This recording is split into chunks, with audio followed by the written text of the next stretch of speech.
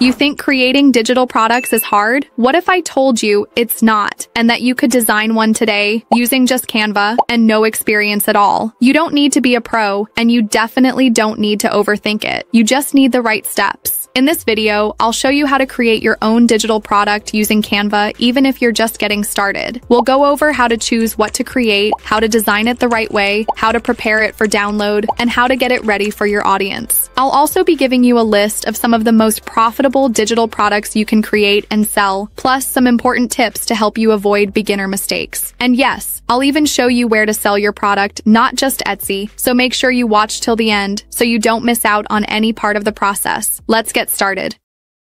Okay, real quick. Yes, I know I'm not the usual face you see around here, but don't worry, you're still in the right place. Our regular host couldn't be here today, so I'll be taking you through this one. Before you jump into Canva, the first step is deciding what digital product to create. Don't overcomplicate this part. Just ask yourself a few key questions. What do I already know? What topics do I enjoy? What problems can I help someone solve? You want to create something that not only you enjoy making, but that people are actually looking for. And here's a simple trick. Head over to a platform like Etsy and start searching. Type in keywords like planner, printable, worksheet, or template. Look at what's selling, what keeps popping up, and what customers are saying in reviews. That's a good sign of demand. Also, ask yourself, can this product offer value? Can it help someone save time, stay organized, learn something new, or solve a small but real problem in their life? That's the kind of product people are more likely to buy. Remember, you're not creating just anything. You're creating something something with a purpose, and once you get clear on that, the rest becomes easier. Now that you've decided what kind of digital product you want to create, it's time to actually start building it. To begin, head to the link in the description where I've left access to Canva. You can sign up for a free account and start creating right away. Canva does offer a free plan that gives you access to a lot of templates and design tools, but keep in mind, some of their best features are available only on the Pro plan. So, depending on how far you want to take your designs, it might be worth upgrading later on. Once you're on Canva's homepage, you'll notice a tab on the top left corner called Create. This is where you'll go if you want to start designing your product from scratch. After clicking Create, go ahead and click Custom Size. You can then set your preferred dimensions based on pixels, inches, millimeters, or centimeters, whichever works best for your product. This is perfect if you already know the exact size you need, like 8.5 by 11 inches for a printable planner or worksheet. Now, if you don't want to start from scratch, Canva also gives you access to thousands of ready-made templates that you can use as a starting point. Just make sure that when you're using any of Canva's templates, you customize them to make them your own. It's important that you don't use any template exactly as it is, change up the fonts, adjust the layout, switch the colors, and add or remove elements so that your product reflects your own style. This not only helps your product stand out, but it's also good practice when it comes to Canva's rules for commercial use. Always check the usage rights and ensure you've modified the design enough so it's considered your original work, especially if you plan to sell it. Now, if you're feeling stuck or unsure where to start, Canva also has an AI writing assistant that can help you outline and plan your digital product similar to how ChatGPT works. Right from the Canva homepage, you'll see the Canva AI tab. Click on that and then choose Draft a Doc. This tool allows you to describe the type of digital product you want to create, and Canva AI will generate content ideas or even draft a rough structure for you. Whether you're creating a planner, an ebook, or any type of digital product,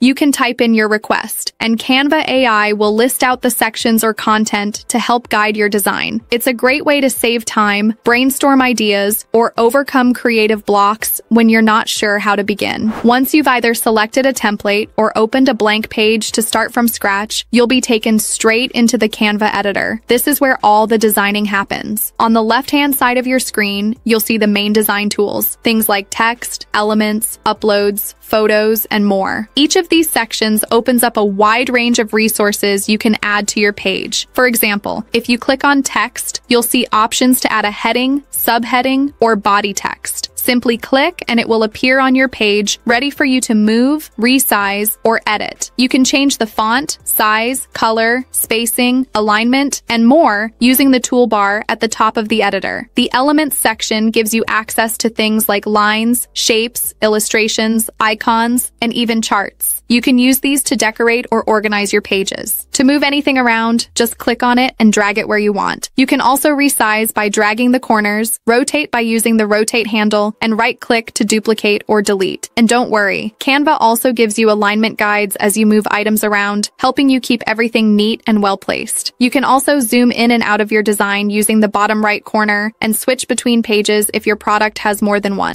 Everything is drag and drop and super easy to adjust, even if this is your first time using Canva. So take your time here, get comfortable exploring the tools, and just start building your layout one piece at a time. If your digital product is going to have more than one page, which most of them usually do, you can easily add new pages by clicking on the Add Page button just below your current design. Every time you click it, a blank new page will be added. You can also duplicate a page by clicking the little duplicate icon if you want to keep the same layout and just change the content. As you add more pages, it's important to stay organized. Keep your fonts, colors, and spacing consistent across all pages. This makes your product look professional and easier to use. For example, if you've used a heading font size of 28 on one page, don't suddenly switch to 35 on the next page unless there's a good reason. If you've chosen a certain color for your headings or icons, stick with it throughout unless you're using a pattern or theme that allows some variation. You also want to make sure the spacing between your elements, like between a title and a paragraph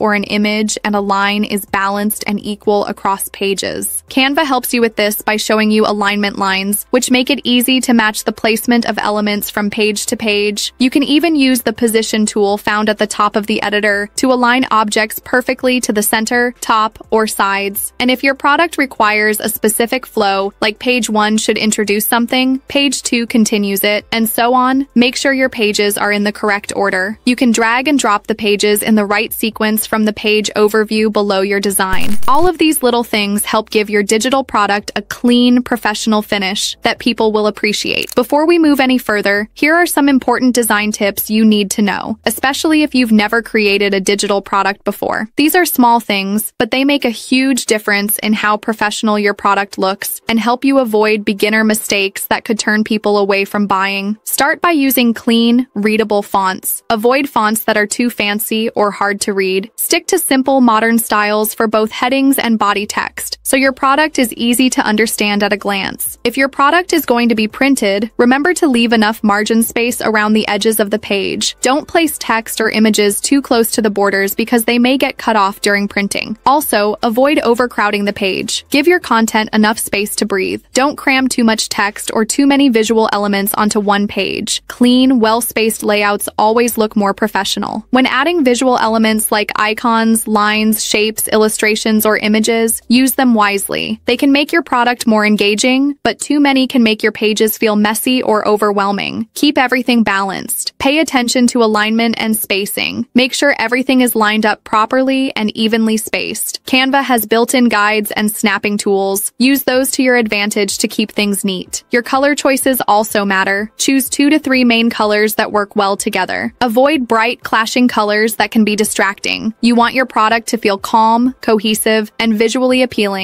And finally, stay consistent across all your pages. Use the same fonts, colors, and layout styles throughout your entire product to give it a polished and unified look. These may seem like small things, but they really add up, and they're the difference between a product that feels rushed and one that looks professional, clean, and ready to sell. Once you're done designing your digital product and everything looks the way you want it to, the next step is saving and downloading your file. Canva automatically saves your work in real time, so you don't have to worry about losing your progress. But when it comes to downloading, you'll want to choose the right file type depending on what kind of product you've created. To download your design, simply click the Share button at the top right corner of the screen and then select Download. You'll see a few file format options like PDF, PNG, JPG, and SVG. If your digital product is meant to be printed, like a printable planner, workbook, or journal, go for the PDF print option. This gives you the highest quality, and it also allows you to include bleed and crop marks if needed. If it's a digital product that will be viewed on a screen, like a digital ebook or guide, then PDF Standard is the better choice since it's lighter in size and faster to download. For products that need a transparent background, like digital stickers or certain overlays, PNG is ideal, and you can check the transparent background box. For simple flat images, JPG works well. And if you're working on something that may need to be resized without losing quality, like icons, logos, or editable vector files, SVG format is also available and useful depending on what the product is intended for. Now, aside from downloading your product, Canva also gives you the option to share your design as a template link or as a view-only link. Sharing as a template allows the person receiving it to customize their own version without affecting your original design, while view-only links are perfect if you just want them to see what you've made without giving editing access. These options come in handy, especially if you're offering editable templates or demo previews to your customers. Before you go ahead and deliver or sell your product, it's important to make sure your product presentation is polished and professional. This includes how everything is arranged and packaged. If you're offering multiple pages or separate files, consider organizing them neatly into folders, clearly labeled, and easy for your customer to understand. Think about the way you present your product just like branding. It's part of what makes your digital product feel high quality. Ensure that your fonts are readable, your design is balanced, colors are consistent, and nothing looks cluttered. Little things like naming your files properly, making a cover page or product preview, or adding simple usage instructions can really elevate how your customer experiences your product. All of this matters, especially if you're planning to sell or deliver your product on a platform. Before we move on, I've put together something really helpful to support you on your digital product journey. It's called the Digital Product Toolkit, and it's designed to guide you from the creation stage all the way to uploading and promoting your product. It's an all-in-one resource created to make the entire process easier, smoother, and more organized for you. You can download it using the link in the description below. When it comes to selling your digital product, yes, Etsy is a popular platform that many people already know about, but it's definitely not the only option out there. You can also choose platforms like Gumroad and PayHip, which are beginner-friendly and offer a smooth setup process. And right now, you'll see a few more places listed on the screen that you can explore as well, so you can decide which platform fits your needs best. Now earlier, I mentioned that I'd share with you some of the most profitable types of digital products and I want to break each of them down briefly so you can start thinking about which one you might want to create. Let's start with ebooks. These are great if you have knowledge or a story to share, whether it's a how-to guide, a motivational piece, or even a mini handbook in your area of expertise. Ebooks continue to sell well because people love learning in a simple, downloadable format. Next up, we have bundles. These are simply themed sets of related digital products packaged together. For example, instead of just selling a single planner page or one set of invitation cards, you can create an entire bundle, like a wedding planning kit or a seasonal holiday design pack. Bundles not only add value for your customer, but they also allow you to price your product higher while offering more. Then there are courses. If you're good at explaining concepts or teaching skills, Online courses are a powerful way to turn your knowledge into income. These could be video lessons, PDF guides, or even a mix of formats, depending on how you prefer to deliver your content. Another popular one is templates. These save people time, and that's why they're in high demand. From resume templates to Instagram post layouts, planners, checklists, or lead magnets, templates help people get a polished, ready-to-use result without starting from scratch. And finally, we have challenges. These are fun, structured digital digital products where people follow a daily or weekly task to achieve a goal, like a seven day self care challenge or a 30 day fitness tracker. They're super engaging and work well in communities, newsletters, and niche audiences that love guided motivation. Now, just because I've highlighted these particular digital products doesn't mean that others aren't profitable. There are so many types of digital products out there, and many of them can still bring in consistent income. These are just a few to get you thinking in the right direction. The truth is, profit profitability doesn't only come down to what you're selling, it also depends on how you're selling it, how much value your product delivers, and the way you package or present it. Some digital products naturally allow you to charge more, like courses or well-curated bundles, especially when they're presented in a high quality or results-driven way. So while these examples can be very profitable, don't limit yourself. With the right strategy, almost any digital product can earn you a solid income online. Now that you've seen the kinds of digital products that that can be incredibly profitable, let's talk about how to choose the right one to start with. Because this isn't about forcing you to begin with any of the profitable examples we've already mentioned. In fact, it's not even about picking what's trending or what seems popular. It's about understanding you, your skills, your interests, your strengths, and starting with something you know you can create and deliver confidently. So instead of asking, what makes the most money? Ask yourself, what can I actually create right now that would provide value to someone else? Maybe you're good at designing things in Canva and that could lead you to creating templates. Or maybe you're naturally organized and creating checklists or trackers feels like second nature. Or perhaps you enjoy fun, creative projects and coloring pages or activity sheets sound exciting to make. The point is, it has to make sense for you. Start with something that's realistic for you to complete, not something too big and overwhelming. If you can only manage a simple one-page printable right now, that's perfectly fine. Start where you are. The goal is to create something valuable and get it out there. You can always grow and improve from there. Also, think about the kind of effort you're able to put in versus the value your product will bring. Some products take more time but can be priced higher, while others are simpler and sell at a lower price. It all depends on how you package it and how useful it is to the person buying it. And remember, the examples I gave earlier, those were just to give you inspiration. It doesn't mean the other digital products out there aren't profitable. They absolutely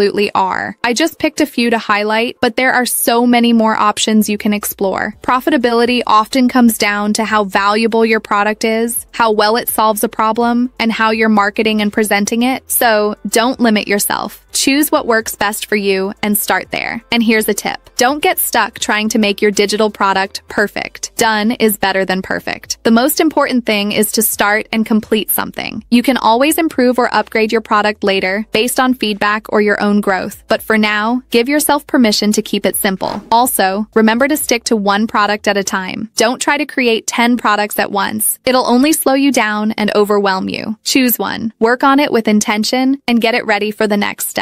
Now, before we wrap this up, I really want to take a moment to encourage you, especially if you've been holding back or feeling unsure about where to start. Listen, every successful digital product seller you've ever seen, they all started somewhere. They all had that moment where they had no clue what they were doing, but they chose to take the first step anyway. You don't need everything figured out right now. You don't need to have the perfect product or the perfect niche or a hundred ideas. All you need is to take action on one idea, just one. And that first step could lead you to more than you can imagine. It's okay if it feels scary. It's okay if it feels uncertain, but don't let those feelings stop you. Your idea matters. Your product can help someone, and you deserve to show up for yourself and create something that could change your life over time. So start messy, start small, start unsure, but please start. And just before you go, don't forget, I've put together a helpful resource for you that goes hand in hand with everything we've talked about today. It's designed to support you as you take action and get started. You'll find the link to download it right below this video in the description, so be sure to check that out when you're done watching. If you found this video helpful, make sure to hit that like button, and don't forget to subscribe if you haven't already, so you never miss any of the helpful content I've got coming your way. And hey, if you've got any questions, or you just want to share your thoughts, I'd love to hear from you down in the comments. Thank you so much for watching. I'm rooting for you, and I can't wait to see what you create.